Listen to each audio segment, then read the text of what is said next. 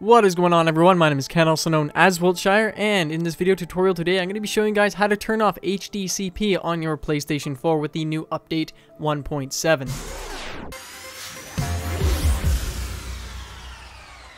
So with the release of the new firmware version for the PlayStation 4, version 1.70, Sony has given us the ability to turn off the HDCP protection on our HDMI ports.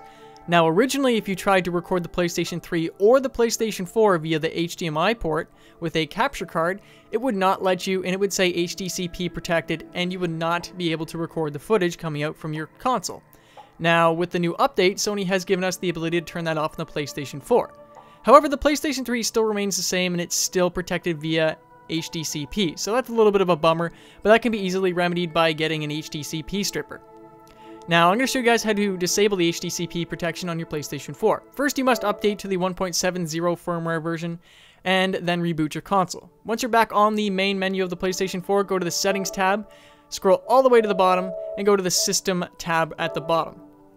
Now you may notice that there's a few new options here. The new option is enable HDCP. By default this will be enabled and this is what you don't want. You want to disable this. So you can easily disable this by hitting the enter button or the X button on that option and it's going to warn us that all applications in use must be closed in order to apply this change to our console. So we're just going to hit yes. I have nothing running anyway so it doesn't matter.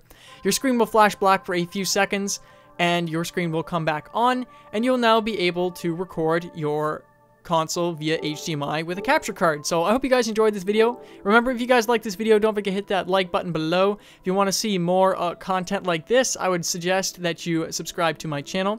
Remember, guys, it's easy to follow, it's easy to learn. As always, I will see you guys in the next video. Thanks for watching.